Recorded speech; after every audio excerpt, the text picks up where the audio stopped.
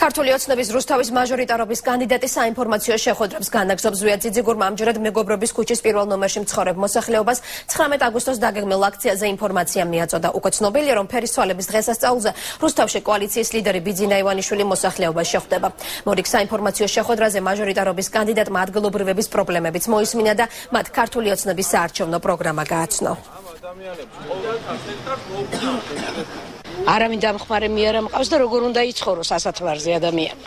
რომ გამოდიან ტელევიზორში და ყველაფერი წესრიგში აქვს მე ვერ ვხედავ ვერაფერ წესრიგსა ჩამოსულებს უფრო ბევრ პატივსცემენ თით პატივსცემენ ვიდრე აქაურ ადგილობრივ ადამიანს. რომლებიც აქ დაიბადნენ ამ ქალაქში და აშენეს ეს.